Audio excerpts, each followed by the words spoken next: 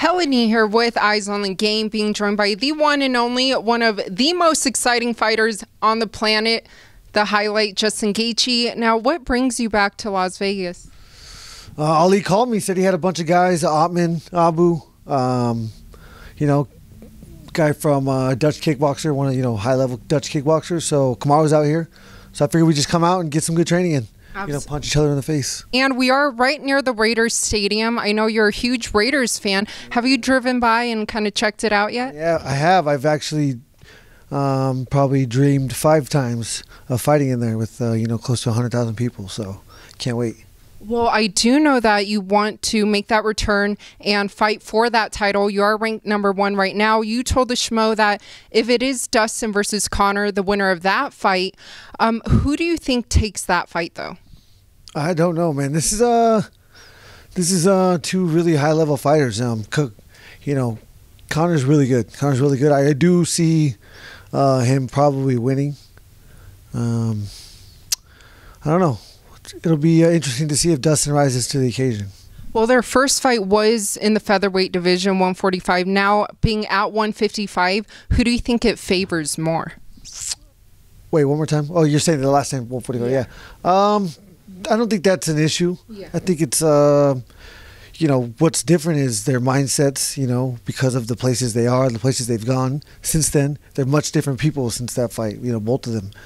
Um, so that'll be interesting to see. And we did see you back in Fight Island. What could you take away the most from your fight against Khabib?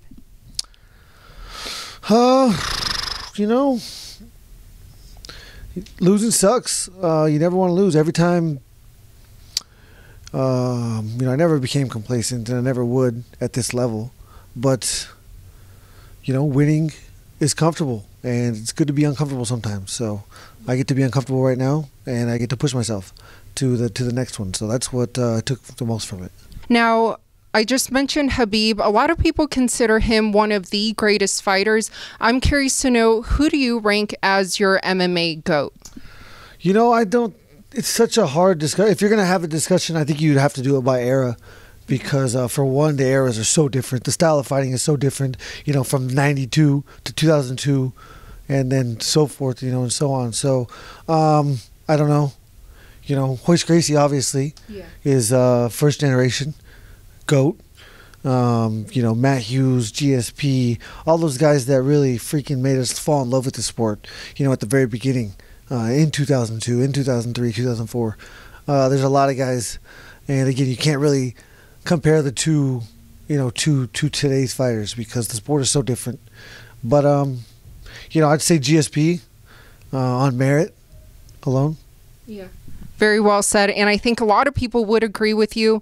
Uh, in 2021, The Ultimate Fighter Season 29, that's making its return. I know you were a coach on Season 26. Is there any two fighters in particular that you would want to watch coach that season?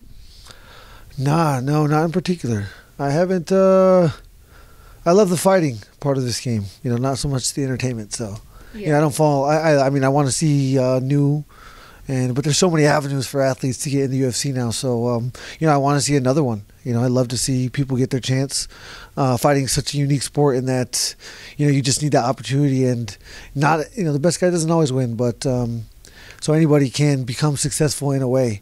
Uh, specifically, these people that you know are coming through a path like that that never thought they'd have their chance. So it's cool to see those stories. Yes, and everyone can't wait to watch you return in the octagon. Lastly, though, with the holidays coming up, I know you're very family oriented. I love that, and I love all your posts about your nieces and nephews. So, do you have any holiday plans?